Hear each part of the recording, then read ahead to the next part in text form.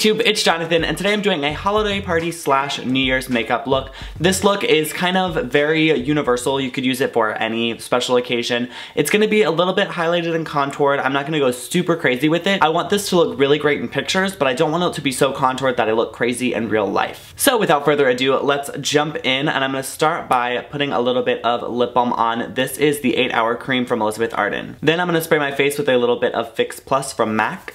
And to give my skin a lit from within glow, I'm going to be applying a bit of the Laura Mercier Radiance Primer. I'm especially making sure to get this onto the high points of my face and then taking it in a light layer everywhere else. I'm probably looking a little bit shiny right now, but that is okay because I'm gonna powder the heck out of my face in just a few minutes.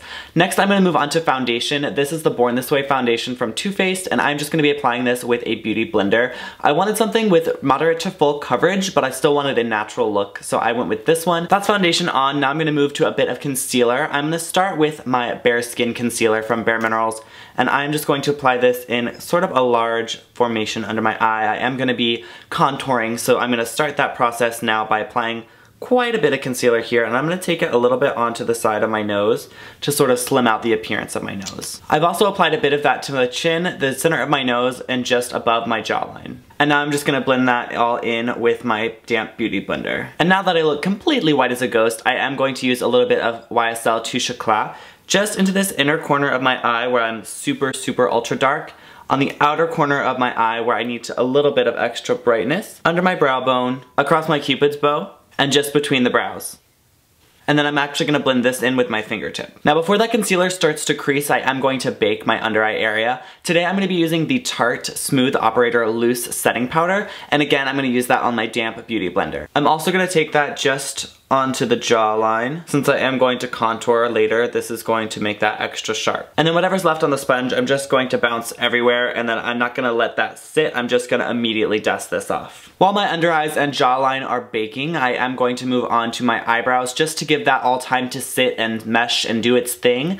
Um, and doing my eyebrows is just the right amount of time I've figured out to let the bake sit. And of course for my eyebrows, I am using Lancome's Le Sourcil Défini in medium ash. This is just my absolute favorite pencil. You can fill in your brows however you like, but make sure you use something long lasting for a party. Those are my brows done. Before I dust away the powder, I am gonna start with my contour. This is Taupe from NYX. This is one of their blushes, and I'm using that on a MAC angled brush, and I'm just going to start chiseling out the cheekbone. And now I'm going back to my powder brush with a little bit of extra product on it and dusting away the cheeks first and then around the eye area. And all that powder just absorbed the concealer and set it on my face and this is going to last literally all night and look amazing in pictures. It's basically gonna keep my under eye area completely smooth and crease free. Now back into my NYX taupe blush, I'm going to go ahead and start adding a little bit more, going slowly, adding just a little bit at a time. I don't want this to end up looking too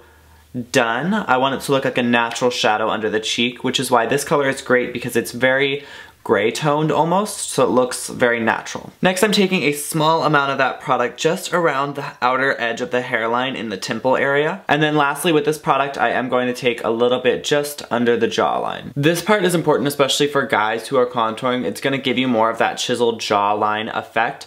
Um, it's going to make your jaw look just a bit sharper. That's the contour pretty much done. I am going to use a bigger, fluffier brush. This is a duo fiber brush from Real Techniques with a bit of bronzer. This is the Too Faced Chocolate Bronzer. I'm just going to swirl my brush around in here, dust it off on the back of my hand, and then just go in in circular motions just above where the contour is, sort of where the sun would naturally hit me and this is gonna blend out the top edge of the contour and make it look quite a bit more natural. Now we are contoured and bronzed. I'm gonna move on to a little bit of blush. This is from Bourjois and this is shade number 48. This is just a nice pink blush. You can use whatever blush tone suits your skin. I'm gonna use that on a tiny stippling duo fiber brush just because I don't want to apply too much of this at all. I'm gonna smile and I'm gonna place it right towards the back of the apple of my cheek and pull it upwards into the contour. I don't wanna do it too much on the center or too much on the apple of my cheek because I do want this to look um, a bit more structured. Now moving on to a bit of highlighter. This is the highlighter from Marc Jacobs in 302 Close-Up.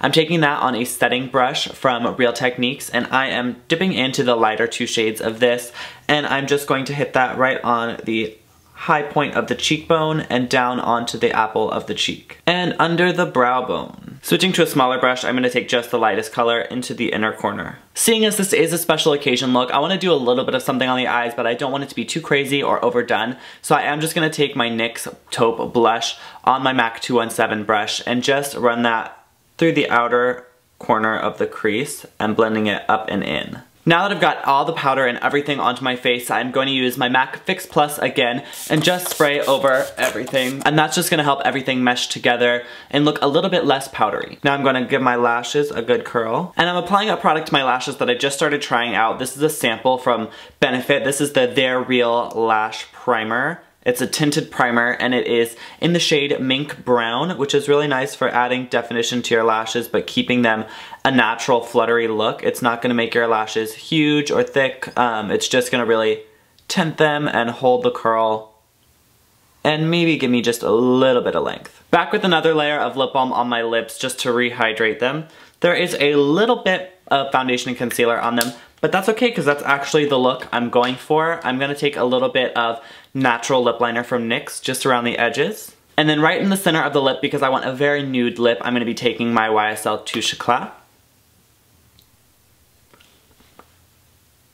And this is the finished look. It's a little bit more than I would wear for every day, which is why I'm calling it a holiday or New Year's Eve party look. This is probably similar to how I'll actually wear my makeup on New Year's Eve. I probably won't do quite as much because it's honestly not my style to be quite as done up, but I know that a lot of you have been requesting a contouring tutorial and a little bit of a heavier makeup tutorial, so that is what this look is. If you enjoyed this video, go ahead and give me a thumbs up. Make sure you come back on Monday if you're wanting something a little bit more dramatic, a little bit smoky, a little bit glittery for the New Year's or for the holiday season, because I'm gonna be turning this base right here into something a bit more dramatic. Thank you so much for watching. Leave me a comment below telling me how you're gonna be celebrating New Year's this year. And while you're down there, go ahead and open up my description box so that you can see all the links to my social media accounts. You can check me out on Facebook.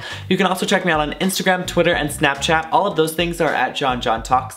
Click on my face to be subscribed to my channel so that you can be here every Monday and Thursday for my new videos, and I'll see you next time. Bye!